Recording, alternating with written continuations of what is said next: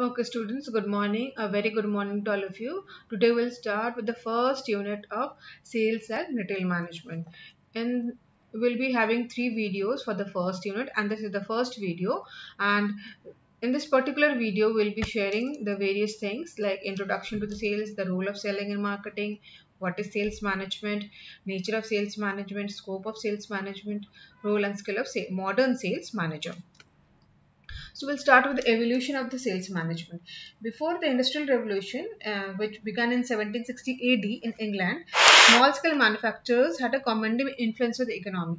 They used to produce um, their goods and the manufacturers were receiving most of the attention because that was the major problem goods were already always sold to the nearby customers without any problem but after the industrial revolution united united kingdom and the american revolution in the united states large scale manufacturers came into the market and they started producing huge quantities of goods.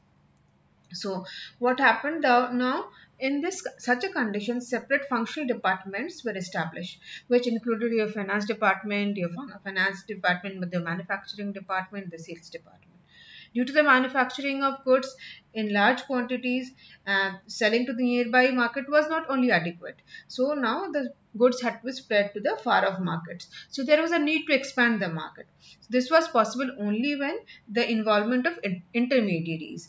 So in such a condition, the, uh, such a condition we had started having wholesalers retailers selling the company's goods to the consumers who were located far away from the manufacturing units so in this in this way the marketing function split into sales and other functions like marketing research advertisement physical distribution etc and we started having different functional departments um, were established.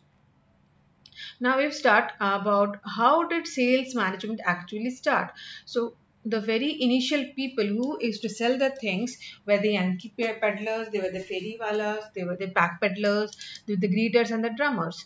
So the Yankee peddlers, the fairy wallahs and the pack peddlers, they were actually those people or you can say the, these were the hawkers.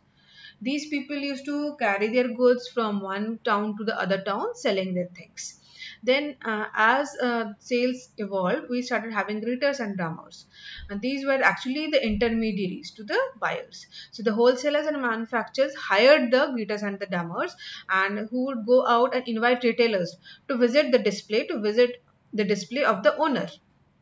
So the drummers would meet the passengers from the incoming trains and shipped with great fanfare uh, to beat the competitors. Then the drummers started visiting the customer's place of business. So the, there were traveling salespeople who took order for the goods. So you can see how it started evolving from small um, hawkers.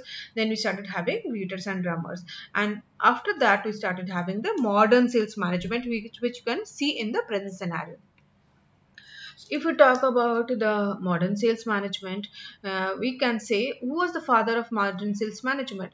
Like we see it in, in the present scenario. Actually, the father of man, modern sales management, you can owe it to Mr. John Henry Patterson. He was actually the National Cash Registry. He used to run National Cash Registry in USA. He used to ask his best salespeople to demonstrate their sales technique to the other salespeople. Um, so what did the uh, what they did that he asked his good salespeople uh, to print pamphlets and distribute to the other salespeople so that the other salespeople could also understand how to uh, get the uh, how to get the ideas of selling so the approach is printed and distributed to the uh, to the other salespeople so Mr. Mr. Patterson he also did one thing he assigned exclusive territories to his people so you can see how sales is evolving, how from the hawkers, then how Mr. Patterson brought about the uh, division of territories to his people and how he used to demonstrate how to sell the things to the people. So he trained, started training the people and he used to arrange frequent sales meetings that actually served the double purpose of training and socializing also. So Thomas J. Watson was trained by Patterson who later on found IBM.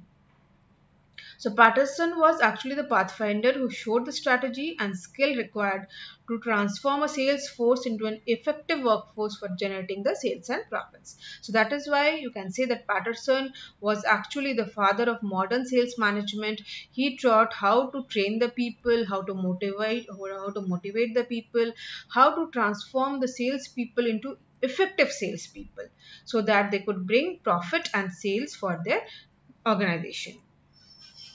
Now we talk what is sales management.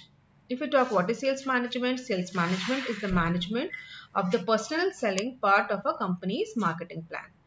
Then if we talk about the a definition according to marketing management according to American Marketing Association that is AMA sales management means the planning direction and control of personal selling including recruiting selecting equipping assigning routing supervising paying and motivating as this tasks apply to the personal sales force. So American Marketing Association is telling what? That the personal sales force has uh, uh, the personal sales force has to be directed they have to be controlled they have to be recruited they have to be selected they have to be motivated. So it is actually covering all the aspects of how you appoint a sales force in the organization and how you make them work and how they contribute to the effectiveness of the organization how they contribute to gain the profits for the organization now if we talk about the nature of sales management uh, nature of sales management over here we talk the integration integrating with marketing management. Second we have scope of sales management. Then have role and skills of modern sales managers. So in the diagram you can see that there is a typical marketing organization structure which integrates sales and marketing functions.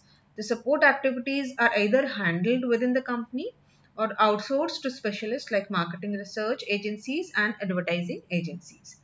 But the real integration between sales and marketing teams would take place if there is a harmonious relationship that is built on the understanding of the common goals and effective process of delivering the intended service to the customers. You can see over here that there is an integration of various types of work. You can see the marketing manager promotion, there is the there is the manager with uh, responsible for market research then you have the manager sales you have the manager manager market logistics manager customer services. So there's an integration of the various activities which are related to the marketing management.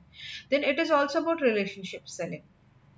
Uh, relationship selling means mostly means when you're going to sell to the people we wish to have a long time relationship we want to establish a long time relationship with the customers. Now if we talk about transactional selling transaction means a one time transaction. The main work of our salesperson is to complete a transaction and to close the deal. So that is a transactional relationship. That means you are selling the product to the customer once and the transaction or the deal gets closed. So you're not focusing mostly on the long-term relationship that you wish to maintain. But in collaborative or you can say relationship selling, the main focus is on having a long-term relationship with the customers.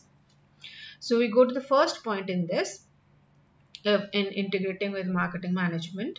Sales management is a part of marketing management. You can see that a marketing management actually consists of two basic type of groups.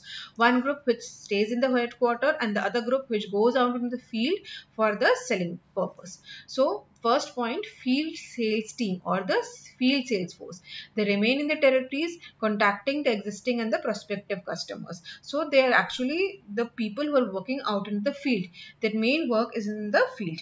And then you have the headquartered marketing team the headquarter marketing team what are they doing? They're actually uh, they're actually promoting the support functions to the salespeople. They promote they are doing the promotion of the products they are looking at the marketing research they are actually looking at the distribution of the product the customer service that has to be given to the customers. So you can describe their jobs in the following points. The headquarter based service and support functions are as follows. First is promotion and marketing communication. So this is these work is being done by those people who are sitting in the headquarters these are the additional or you can say these are support functions that is being given to the field sales people by those people who are already stationed in the headquarter So uh, the promotion or the marketing communication activity consists of the advertisement, the selling sales promotion, the publicity, the direct marketing, etc. Then you have, if we talk about marketing research, everybody knows marketing research is what? It is the collection and interpretation of information in the customers you have to collect the info eh, you have to collect the information about the customers the competitors the product the market and so on. Because uh, these information is actually required by the salespeople who are going out into the field to sell those particular products. So for example the field salespeople need the information on competitors what is the price what is the price the competitors given? What is the discount they're offering? What are the payment terms? What are the standard delivery terms they're providing? So this all this information is actually gathered through the marketing research. Now if we talk about market logistics market logistics is what it is actually the physical distribution of finished goods.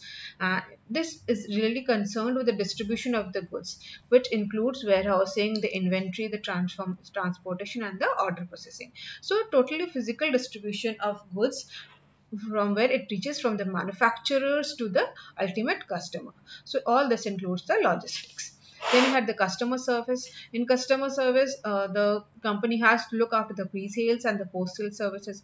For example, any problems which are related to the post-sale services uh, were resolved by the Mahindra dealer by assigning a service advisor to every vehicle when it came for service to the showroom.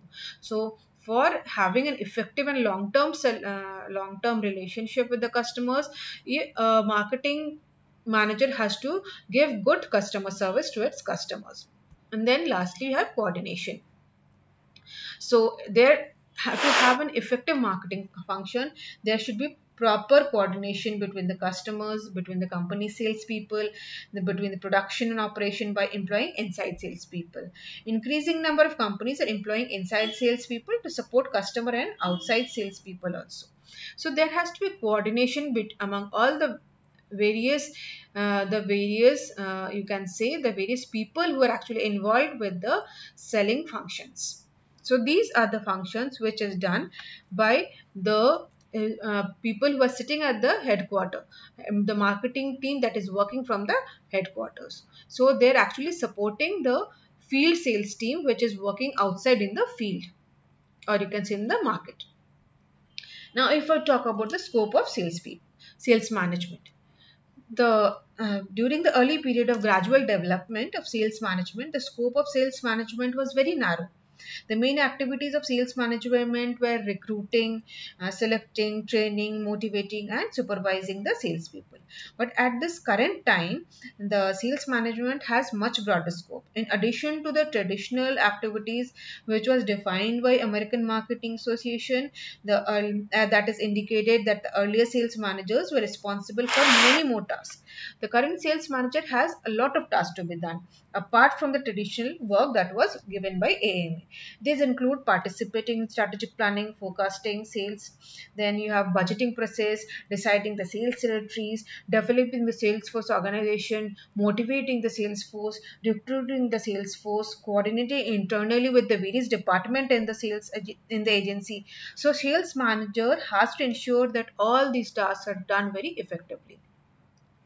Though the primary objective of sales management is to achieve the targeted or budget sales volume, sales managers are actually responsible to reach the goals of the market share and the sales growth. So the job of the first sales manager, that is district manager, the branch manager, differ from actually other management jobs. These sales managers cannot directly supervise the work of the salespeople reporting to them because many times they work away from the company offices to meet the business customers, um, like the intermediaries, like the distributors. Thus, the scope of sales management extends from management of sales force to various other tasks. So you can see that the that from a very narrow scope how in the current scenario the, the scope has has a lot of broader meaning. Now talk about the role of sales managers the role of sales managers it is actually the highest level is often called the director or the vice president of sales. Or you can say the general manager sales or national sales manager. They develop all the long term uh, sales forecasts. They set the long term objectives obtain information about the changing needs of the customers as well as strength and weaknesses of the customers the they actually the then second point coordination. The first level sales manager like the area managers the sales managers support the salespeople and coordinate with production planning and market logistic department. The branch managers conduct the monthly or the quarterly meetings so that they can have a better coordination among all the levels of the managers. Then mm, we use technology also like erp and crp crm software packages that are used to ensure that superior customer service is being provided. Then managing the multiple channels like online selling through the internet, telemarketing, personal selling through manufacturing respectives. So these are all the activities a sales manager has to do then he is also a member of a corporate team so he has to ensure organizational objectives customer satisfaction sales growth and market share the sales manager is also a team leader. He has to achieve the sales goals and profits. Latest CRM technologies are also used to achieve all the activities of the sales department. He has to continually understand changes in environment and update the strategies. Now we talk about the skills of a sales manager. Now we talk about the skills of a sales manager. Uh, skills of a sales manager is actually uh, distributed into mainly three types of skills. The people skills the management skills and the technical skills. From the name itself like we understand what can be people skill it is related to the people. So the manager has to motivate the salespeople he has to lead them he has to communicate and coordinate effectively with the salespeople for effective team building. So first level manager should mentor and improve performance and resolve the conflicts. So it is dealing with the people. Then secondly of the managing skills. It includes all the administrative skills like planning, organizing, controlling, decision making. It can be learned through attending various management development programs. Then you have technical skills where you have to train yourself where you know how to negotiate with the people how you are you going to use the erp software how you're going to use the crm software. So the various technical skills. So these are the broader skills which has to be maintained by the sales manager.